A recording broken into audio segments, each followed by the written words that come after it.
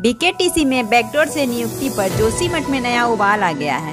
नवनिर्माण अध्यक्ष मोहन प्रसाद के खिलाफ सड़कों पर उतरकर कांग्रेसी और आम लोग प्रदर्शन कर रहे हैं। इसी कड़ी में नटराज चौक पर नवनिर्माण अध्यक्ष का पुतला भी फूका गया। लोगों का आरोप है कि नवनिर्माण अध्यक्ष ने अपने आधा दर्जन रिश्तेदारों और चहितों को बैकडोर से नियुक्ति दिया है। वहीं बद्रीनाथ केदारनाथ मंदिर समिति के पदाधिकारियों पर समिति के बजट में बंडरबाट का आरोप भी लगाया गया। चमोली से नवीर भंडारी की रिपोर्ट। टीसी होश पर होश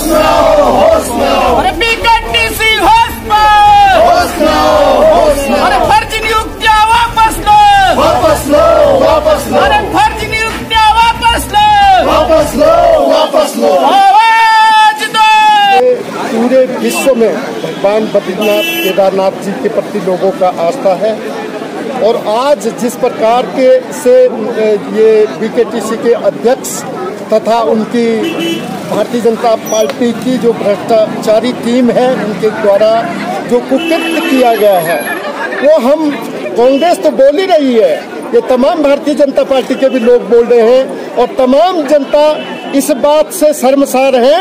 आज उत्तराखंड भी ये में ही ये बात उठ रही है। कहीं विश्व में हिंदुस्तान के पटल पे ये उठेगा, कितनी शर्मसार बात है। धिक्कार है ऐसे नेताओं को, धिक्कार है ऐसे लोगों को उस कुर्सी पे बैठने के लिए। और बाकी सारे कुकृत्य इस भारतीय जनता पार्टी सरकार की है। ये सरकार, चाइना का गुलाम सरकार ये पाकिस्तान का मुखोटा सरकार, इसका पतन होना बहुत आवश्यक है। अगर इसका पतन होगा आने वाले समय में तो इस प्रकार की कुकृति रुक जाएँगी, इस प्रकार की भ्रष्टाचार रुक जाएँगी।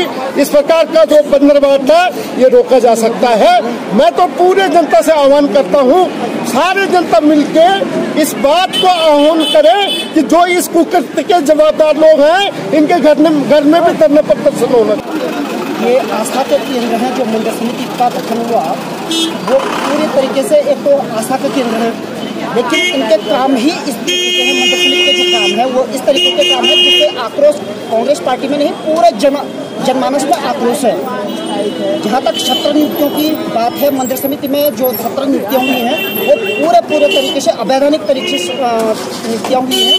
इसके अलावा जो श्रद्धालु लोग देश विदेश से लोग आते हैं और यहाँ पर मंदिरों में जो चढ़ावा के रूप में देते हैं श्रद्धालु अपनी श्रद्धा से देते हैं लेकिन इसको बंदरबाट की तरह बांटा गया है और इसमें पूरी पूरी तरीके से जो अध्यक्ष जी हैं उनकी संलिप्तता नज़र आती है और जो बंदरबाट हुई है इसकी सीधे सीधे जाँच होनी चाहिए। भविष्य में जो मंदिर का निर्माण किया जा रहा है उसमें भी जो सुनने में आ रहा है वो ये है कि जो अ, ढुलान का है, जो ट्रांसपोर्टेशन है, उसमें भी घोटाला हुआ है। और जहाँ जहाँ भी जो लेन देन हो रहा है मंदिर समिति के द्वारा, वो सीधे सीधे अपने लोगों को फ़ायदे देने वाली देने वाले काम हुए हुए हैं। और इस सब में जाँच किए जाने की आवश्यकता है। और यदि जाँच नहीं होती है तो इससे भी बड़ा विरोध मंदिर समिति को झेलना पड़ेगा। और साथ साथ बीजेपी सरकार को भी इस विरोध को